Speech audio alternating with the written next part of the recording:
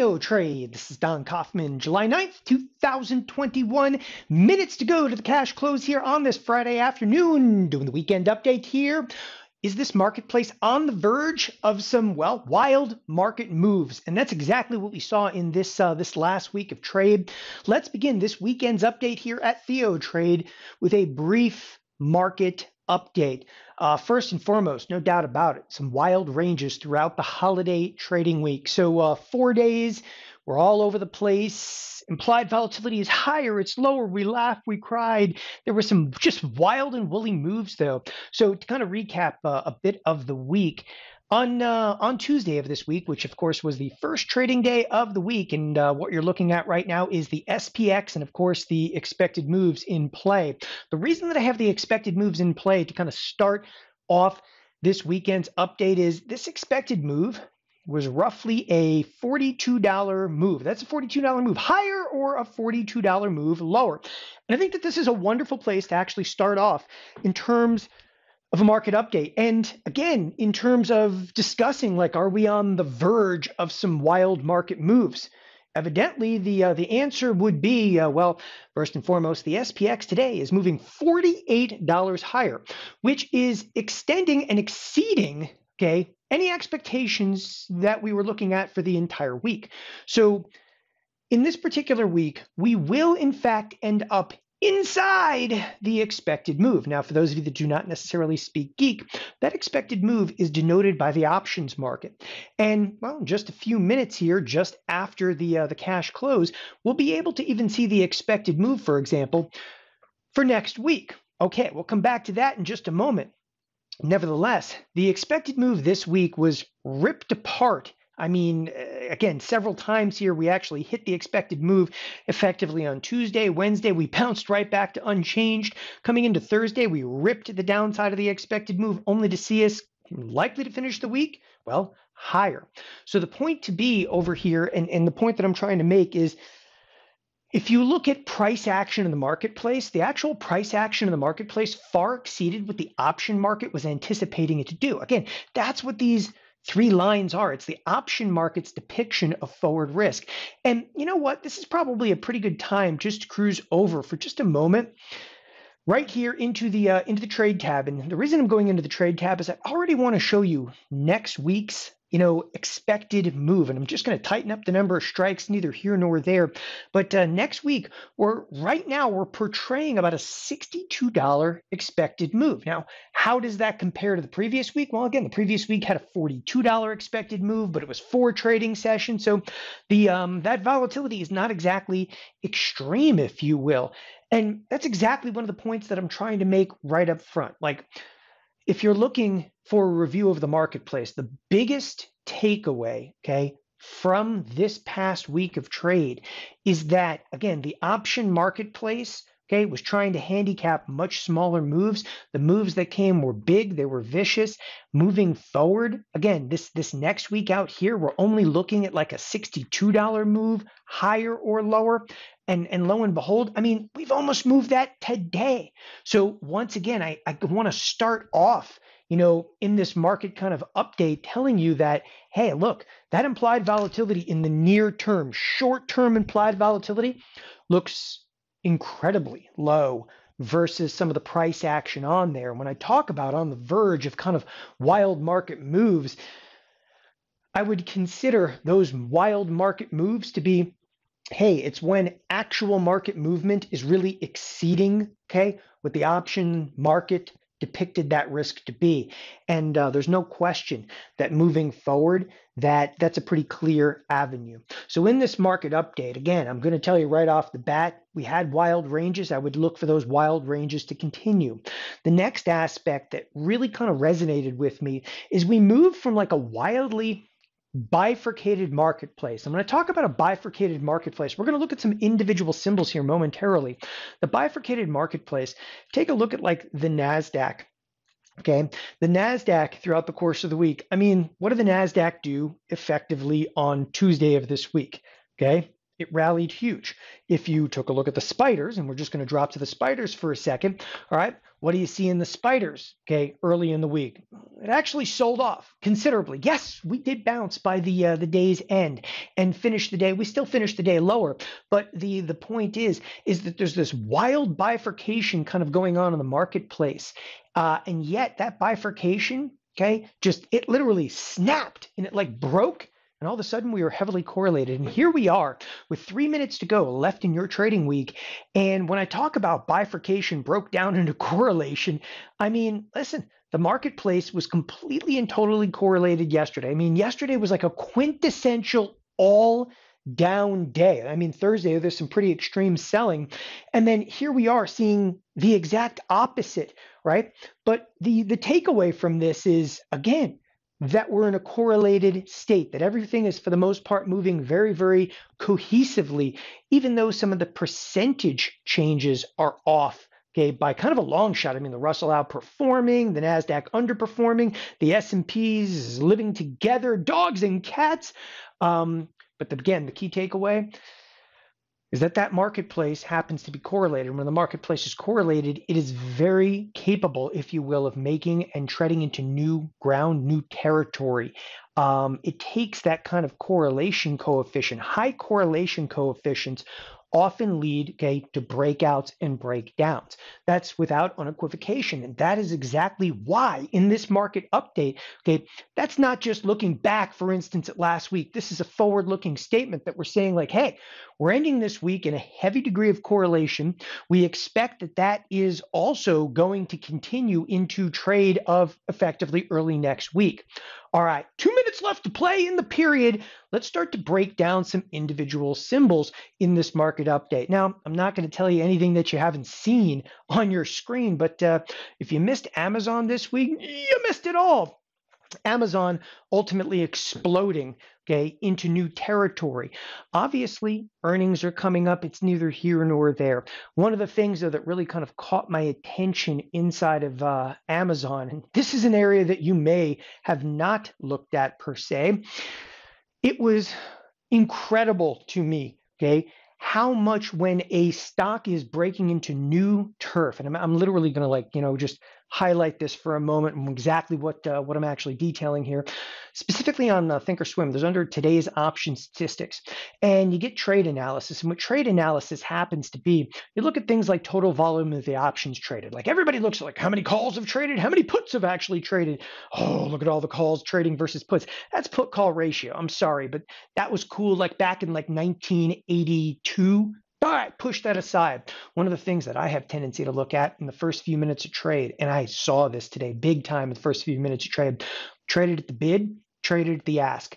Okay, look at the call volume, traded at the bid or traded at the ask. People, it is absolute unequivocal amateur hour inside of Amazon. This is indicative, if you will, of retail trade. And you go, how could you possibly see that? Trade at the ask or above, trade at the bid or below. You know what those are? Those are actually market orders. Those are, you know, people sitting down in their mom's basement trading, you know, Amazon, mom, meatloaf. But the point that I'm trying to make with this can you believe that people are using things like market orders instead of stuff like Amazon? And you know, lo and behold, when you see this kind of activity, which is is literally like it's a fever pitch and right at the cash open i was i was actually commenting about this today. A fever pitch in here and wait wait for it. Here comes the closing bell then we're done for the week. But um, with that when you start to look at this and, and the the contract size coming through right at the cash open today was phenomenal traded at the ask or above. That was the specific one i was looking at. What that basically meant is that traders were going out there and i'll just give you an example. They were actually buying calls, okay, with uh, marketable orders, buying calls at the market. And they were actually likely putting the orders in before the cash open. So what you actually get at the cash open is an incredibly wide market. You know, a market on an option here might be like eleven dollars normally. 11 bucks by basically like uh, we'll say like 11.40 but the uh, the bid offer spread at the cash open was like $11 okay offered at basically like 14 you got filled at 14 and what that happened what it caused is actually a knee-jerk reaction the stock exploded higher and actually contracted almost immediately and uh, this was actually a really cool one because you could see it play out. And uh, people thought I was, you know, like crazy. I can see literally the spikes contract, the spikes contract throughout the course of the day. Though Amazon was un, uh, you know, unable to get out of its own way, and again, it became like retail and kind of amateur hour there. And I'll tell you, uh, using a marketable order inside of a, uh, a vicious beast like Amazon is not uh, is not going to treat you well. In fact, when you start looking at the bid offer spreads, like these are pretty formidable options to begin with. The bid offer spreads though with the cash open were substantially wider. I just wanted to cover though Amazon, not because it was, you know, breaking out to the upside. It's just the number of retail traders that are in there. And when you see things that are absolutely fever pitch, going on, uh, typically that move is is over, and that's uh, it's predominantly what we saw really in that last kind of three days of trade. It started off this week with a bang. Things really mellowed out thereafter. Nevertheless, we'll keep close eyes on Amazon. I got to tell you right now, once again, in this update, I want to be a little bit of a forward-looking statement and give you that uh, Amazon. I don't anticipate much out of Amazon okay, in uh, in the very very near future to the upside. I want to be clear about that. To the upside, I wouldn't consider much. Onward and upward. Let's actually cruise over to Apple. I do have a bit to say about Apple. Apple has been on an absolute tear to the upside. On a percentage basis, it's effectively up 12% in a year to date basis. Okay. This tear to the upside, I'm going to tell you right now, for what it's worth, I wouldn't short it. I'm going to say that again. I would absolutely not short that uh, that move to the uh, to the upside. And again, I am carrying okay some short stock positions in here, and make no qualms about that. But I wouldn't step in and actually short this right now. One of the things that is apparent in here, okay, even if it even if Apple is kind of amateur hour, um, look at the number of calls trading in here. All right, that's just it's shocking. 2.1 million calls traded. You realize on a day like this, we only did maybe like you know 40 million option contracts total. 40 million option contracts total in the whole marketplace. Apple is almost 3 million of those. Okay. Yes, traded at the uh, ask or above and the bid or below is prevalent here as well. But the bid offer spreads inside of something like Apple, which is a $145 stock, are much, much tighter. And I know somebody was inevitably going to look at that. The point, though, of Apple and me bringing it up is I wouldn't stand really in front of it right now simply because the S&Ps are up about 18% on a year-to-date basis, right? The QQQ is up about close to almost 17% year-to-date basis. In fact, I'll even pull up the spiders here. Spiders are up 18%. And then you get Apple. Apple is an underperformer. And right now, you know, if you're a fund manager, right, and you're looking to like, you know, basically game the system performance game the system what you're looking for is anything okay what asset can i buy that is underperforming and the answer is right now apple's actually playing catch up although i think long term Apple can be, you know, pivotal short. Okay. In the short term over here, this is momentum trading, and I wouldn't stand in the way of it. Moving onward and upward, let's actually move over to the uh, to the financials. The financials also seeing some incredible activity. Now, before we go any further into the financials, if you are a trend trading monkey, that trend is definitely to the downside. There's no question about it. The interesting thing uh, about the financials throughout the course of this week, uh, and again, it's maybe not what you thought, and I'm not here to talk about trends so much as I am look at the breaches of expected move. Here again is a marketplace, and I love to cover this because from a quantitative standpoint, one of the most pivotal sectors inside of the S&Ps is the is the financials. And the financials, huge breach to the downside. Then we had a breach to the upside. We have a mellow week this week we breached to the downside and then ended the week almost back to unchanged. Okay. It is a wild, wild ride inside of the financials right now. And you know, the interesting thing about this is that has nothing to do with the companies themselves. It's everything to do with what I'm about to talk about in a moment, which is going to be the bond market. And I'm going to save some of the financials for that. Nevertheless, financials are coming out with earnings this next week. So earnings, you know, uh, you know, stick a fork in us. The earnings season once again is uh, is here. It'll be here. It'll be gone before you know it. But the financials, they should have stellar numbers coming into this uh, this earnings season. Why should the financials have stellar numbers? Most of the quarter, the interest rates were were rocking. Only recently did the uh, did the rates actually come off. The amount of trading activity should have been huge. There are actually going to be loan loss provisions. The only thing is, when you think about the financials, and I want you to realize this, okay, they could have stellar numbers and still sell off. Some of it may have already been priced in because just a few weeks ago, the Fed said financials, you're allowed to buy back stock, and most of them already announced their stock buybacks. So a lot of good news is already priced into the financials. This It's going to be a very pivotal sector this next week. It's always a pivotal sector, but because it has earnings, okay, because it has earnings, you could actually see some scattered and kind of broken trade in here. And by the way, that's not, you know, my opinion, okay? That is predicated on looking specifically at the expected move. And I want to show you something, um, at least that I find kind of interesting. When you start looking at the uh, at some of the financials here, and kind of have to exclude this 14-day option, but start looking at some of the financials and look up the expected moves. The expected move is absolutely unequivocally elevated.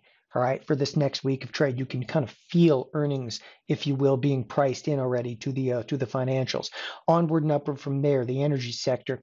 Okay, when it comes down to it, uh, the energy sector, and we're actually going to bring up uh, EEM in just a moment, but the uh, in terms of the energy sector, the energy sector looks a lot like the financials. I say this week in and week out. You know, you can comment all you want about OPEC and oil, but if you take a look at the number of breaches of expected move, the kind of trade action that you saw, okay, the only difference is the energy sector did in fact end it ended the week underneath the expected move. So it's doing something again. This is statistically significant. The previous week, it closed inside the expected move. The week before that, outside the expected move. The week before that, way outside the expected move again. You're seeing consecutive breaches of expected move in the energy sector. You're seeing consecutive weeks of breaches of expected moves in the financials. Okay. Now we're actually going to cruise over. Before I get to the QQQ, I do want to go to the EEM. Okay. The emerging markets. The emerging markets is heavily okay, weighted into Asia, specifically into China. Take a look at some of the wild moves in here. The point that I'm trying to make is, you know, on the verge of, of wild market moves, you're like, oh, whatever, man. We saw like four days of trade action. Actually, though, when you start looking around the marketplace, those wild moves in the market right now are not necessarily the S&Ps. The wild moves, they're everywhere. Okay, they're everywhere. And I got to tell you something about some of the wild moves that at least I'm seeing in the marketplace. It breaks to the downside. It breaks to the upside. It craters to the downside. It, you know, two, three standard deviation move to the downside inside of the emerging markets. People, Okay, there's this this wild trade going on, and we're getting this much more expansive range, and you can feel it, you can taste it, you can see it, but you can't put your finger on like what the future of this is going to look like, right? Next, we come over to the QQQ because obviously the Nasdaq was pivotal this week.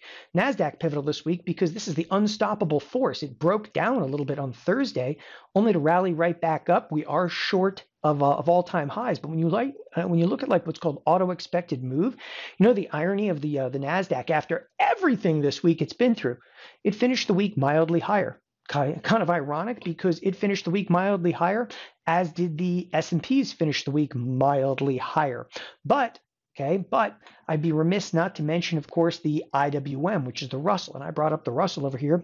Where did the Russell finish? Okay, just hanging on like grim death to the lower edge of its expected move, not dissimilar to some of the financials out there. And uh, well, you know, what would a week be without mentioning something like Tesla? And I just wanted to bring up Tesla because here's a fairly pivotal underlying that also broke the lower edge of the expected move and came back inside of it earnings coming up in the very near future. All right, onward and upward. You want to know what is really driving a lot of the trade. Okay, and uh, again, this is this is going to be for the Nasdaq. This is going to be for the financials, the bonds. The bonds are so very back, baby. They are back in charge and driving a lot of the trade. Okay, so one of the things that that really moved markets this week is we went from fear of high interest rates okay, a few weeks ago. And again, put this into perspective categorically. We're going from fear of high rates to holy crap, fear of low rates. So if there's low rates, what does that do? Okay, kills the financials. That's exactly why. If there's low interest rates, and this is the 10 year, right? If there's low interest rates, should kill the financials. But low interest rates kills the financials. Tech should love it. What made no sense this week whatsoever is when the financials started correlating with tech. That's when you have to sit back and go, what the beep, beep, beep, beep, and you, you can't figure it out. The question, though, is this lower rate is this going to continue?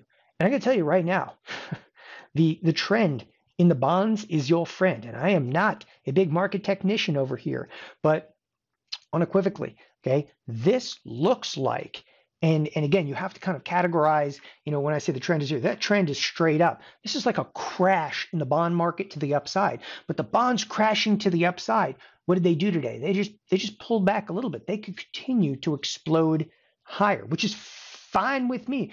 But if the bonds continue to explode higher, you're likely to ignite more fear about slowdown and growth. It doesn't even matter if that's true or not. Like no one cares like oh, growth is really slowing down in this most recent like listen, all that is, okay, is is just a piece of financial like garbage news that comes out. Everybody wants a narrative to everything right now. And if the bonds continue to the upside, like people just hey, push all that crap away. The trend right now is to the upside in the bonds. That trend may reverse.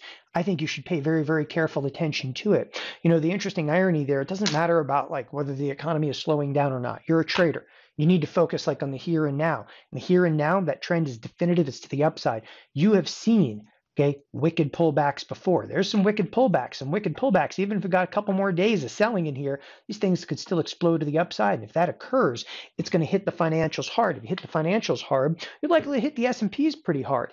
Okay, but right now we're also correlated, which changes everything.